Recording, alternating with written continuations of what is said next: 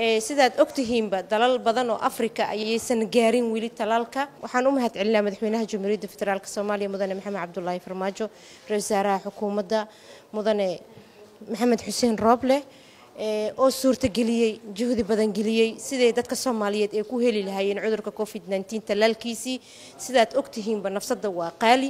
Madaxdeena qaranka awoodoodii iyo juhdigoodii ayay ku geliyeen inuu soo gaaro dalkeena soomaaliya talaalka dadka soomaaliyeedna waxaan ugu baahannahay inay qaataan talaalka sidaad ogtihiinba waxaa dahfuray talaalka madaxweynaha jamhuuriyadda ayaa qaatay wasiiradeena caafimaadka ayaa qaadatay.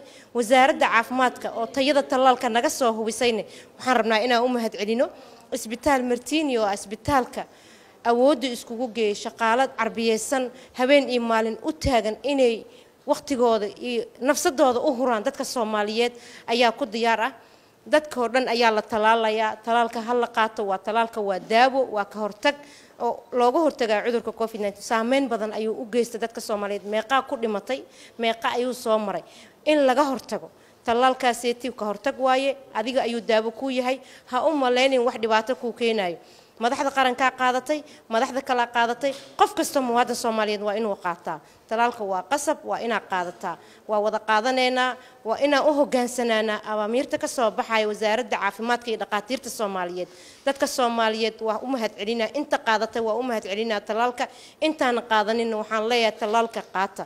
Waxaan kaloo u mahad celinaa dadka soomaaliyeed ee u hogaansamay awaamiirta wasaaradda caafimaadka iyo gobolka banaadir oo ahaa inay facemaska la xirto oo ka hortaga cudurka covid nteen uu yahay ayagana waa u mahad celinaa inta qaadatay.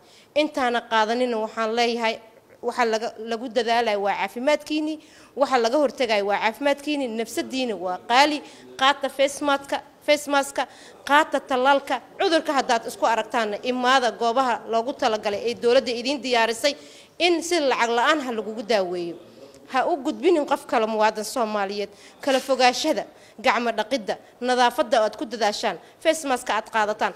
Cudurka markaad isku aragto gurigaaga isku karantiil haddii xaaladda emergency ay noqotona nambarka oo kuu diyaarsan kuu carbiyeysan shaqaalo naftood hurayaal ah kugu diyaarsan isbitaalada iyo goob walbaba soo gaar fadlan fadlan waxaan idinka codsanaynaa haddaan nahay maamulka gobolka banaadir oo u horreeya duqa magaalada. Inaad ku dadaashaan nafsadiini aad ku dadaashaan isbitaaladani lagugu talagalay aad ku dadaashaan tallaalka. Tallaalka waa shay muhiim ah.